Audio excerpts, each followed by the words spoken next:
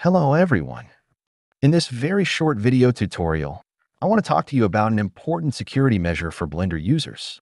I received an email from an online store recommending that I disable the auto-run Python scripts option to avoid the risk of automatically running potentially harmful scripts included in some Blend files downloaded from the internet.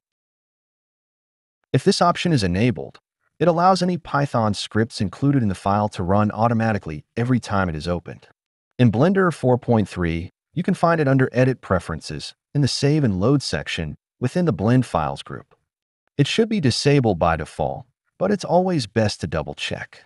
In other versions of Blender, the same option might be located in other sections like System or File Paths, still within Preferences.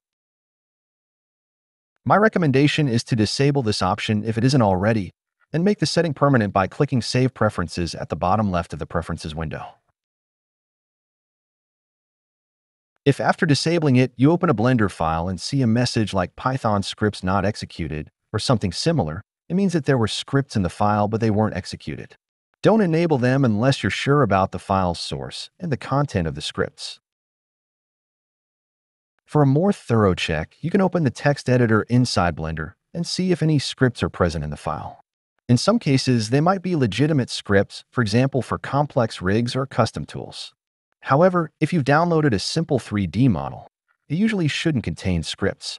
Pay special attention if you see code using modules like OS, subprocess, socket, requests, or code that reads slash writes files to disk or performs network calls. The email I received mentioned a script hidden inside an armature object. Another good practice is to examine the file structure in the outliner to check for any suspicious objects with strange or unusually long names, hidden armatures or other objects.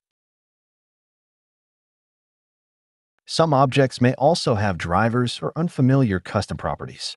In some cases, these might be legitimate elements, but if the file is supposed to contain only a static model, their presence could be a red flag. I hope this information was useful to you, not to cause alarm, but to help you use Blender more consciously and safely. Unlike most of my video tutorials, the PDF version of this one is not currently available for download. However, in the description you'll find the link to a page with PDF versions of many of my other tutorials. In any case, this is a great time to subscribe to the channel and turn on notifications. See you next time.